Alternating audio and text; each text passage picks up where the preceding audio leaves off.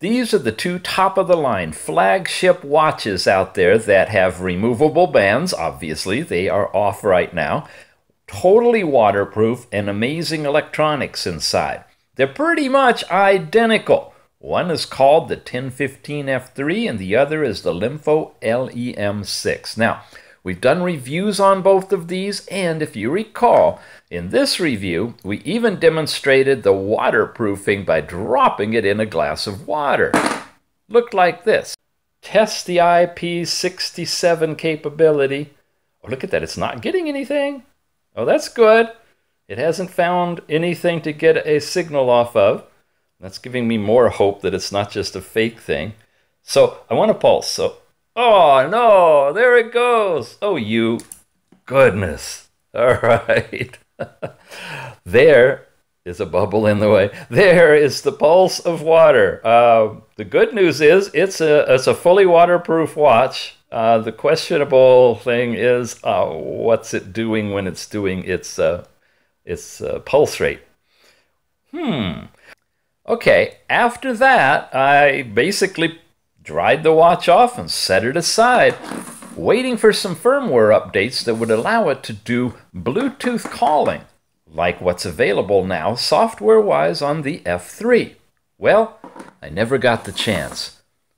When I attempted to turn it on, I found out it had fried. It was no longer working. I thought maybe the battery was just uh, low and needed charging overnight. I checked everything. Nothing worked until I opened the back. And that's what we're going to do right now because I'm going to show you how water can get into not only the LEM6, which it did and totally destroyed it, but it can do the same thing to the F3 because guess what, folks? The designs are the same and the design flaw is in both of them. You're going to want to do this if you're ever thinking about putting your watch in water or even near water to prevent water intrusion. Let's start by opening up the back of the LEM6. To be able to take the back off, you're going to need to get a specialized tool.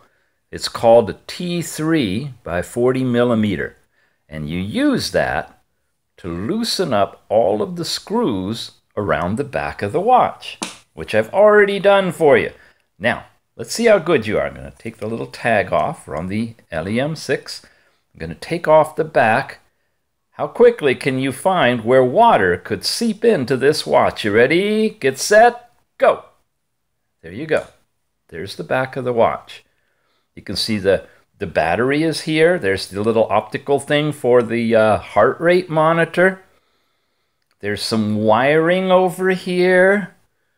When we look at the wiring, that looks pretty good. You see this little ridge around the outer edge here? That's the waterproofing seal. You see how it goes around the screw point there? That's where the back and the front fit together nice and snug and held on tightly with screws. Uh-huh. What have we got here? Look at this. There's a little bit of aluminum foil, it looks like. Some sort of a protective layer or coating or bag? Well, let's lift it up and see. What in the world is this? Because right here, right here at this edge, it's overlapping where the seal goes.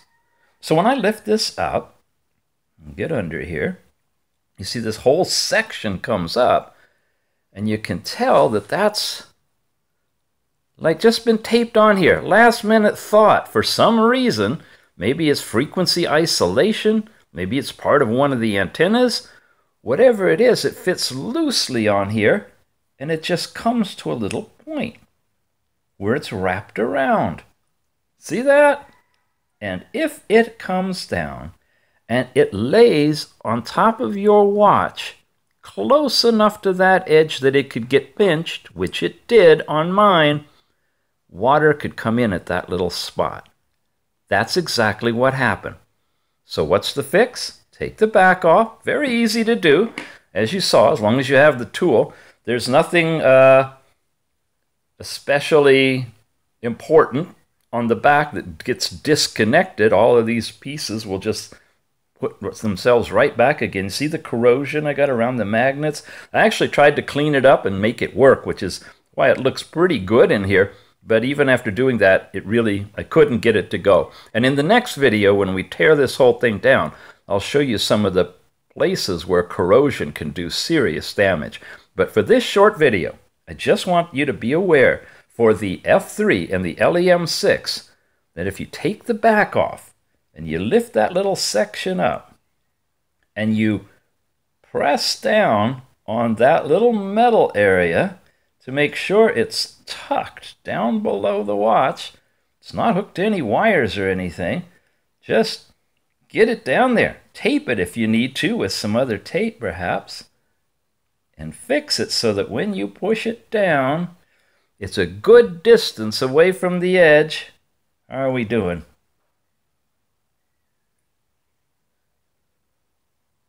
Like so. See?